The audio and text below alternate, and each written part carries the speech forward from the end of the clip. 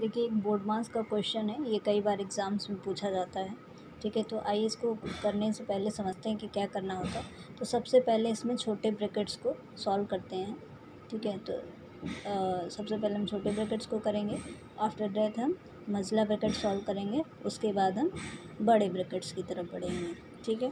तो चलिए सॉल्व करते हैं इसको। यहाँ पे लिखा है seventy two divide by thirty eight brackets के अंदर है। फिर मछला ब्रैकेट लगेगा। Thirty eight sorry thirty minus thirty one minus sixty divide by सबसे पहले चार गुड़े पाँच को सॉल्व कर लेते हैं। चार पंजे हो जाएगा बीस, यहाँ पे लिखेंगे बीस।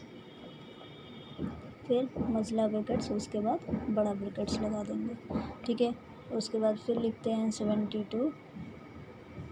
यहाँ पे बराबर का चिन्ह लगाते रहेंगे।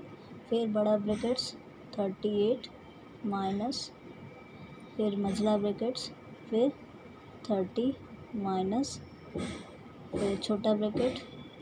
अब इसको सॉल्व कर लेंगे, तीस को सॉरी, साठ को बीस में भाग देंगे।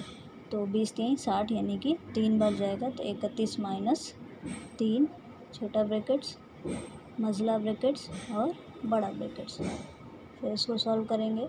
सेवेंटी टू डिवाइड बाई बड़ा ब्रैकेट्स, थर्टी एट माइनस मझला ब्रैकेट, थर्टी माइनस छोटा ब्रैकेट्स। इकतीस में से तीन घटाएँगे तो अट्ठाईस बचेगा। फिर ये ब्रैकेट्स क्लोज हो जाएगा। फिर ये ब्रैकेट क्लोज हो गया मझला और बड़ा ब्रैकेट्स।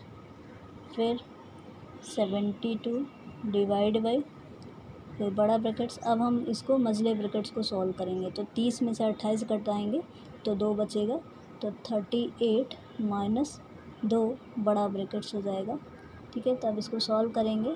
तो सेवेंटी, थर्टी एट में से घटाएँगे दो को तो ये बचेगा थर्टी सिक्स। ठीक है तो लिखेंगे यहाँ पे सेवेंटी टू भागा छत्तीस बराबर दो। छत्तीस दूना बहत्तर, दो बार जाएगा। तो इसका दो हो जाएगा आंसर। ठीक है? तो ये ध्यान दिया जाता है कि सबसे पहले हमको ब्रैकेट्स, छोटे ब्रैकेट्स को सॉल्व करना है, फिर बड़े ब्रैकेट्स को, फिर सब सबसे बड़े ब्रैकेट्स को।